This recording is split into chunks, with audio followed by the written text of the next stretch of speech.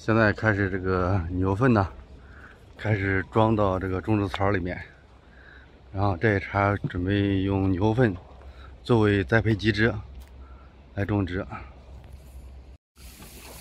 这都是已经填上去了啊，先填了一半，待一会儿呢还要再去填另外一半。因为现在这个牛粪呢没有充分的去晒干，还有臭味儿，没办法了，因为这个番茄苗啊已经该栽了。等不及了，只能强行的去处理了。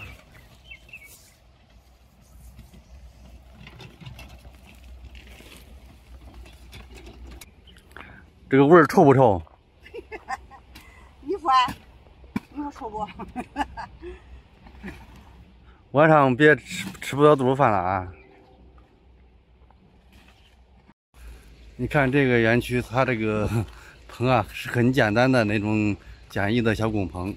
然后有很多朋友说啊，我你看我是什么什么样的棚，适不适合无土栽培啊？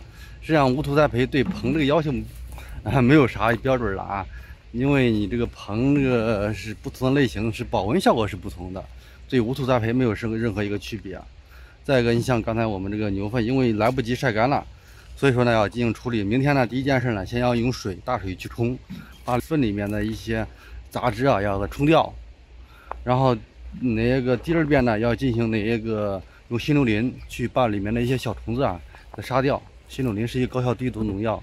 然后第三次呢，再加上一些那个杀菌的，把里面的病菌再再处理掉。通过这样的处理情况下，这个嗯，虽然说没有经过晒干吧，这个牛粪，但是栽种这块问题不大啊，问题不大，因为牛粪属于一个冷性的肥料。它是不会去烧苗的。我们如果经常用牛粪，你会发现牛粪里面草籽特别多。你想想，草籽它都都烧不死的情况下，那么苗这块肯定问题不是很大。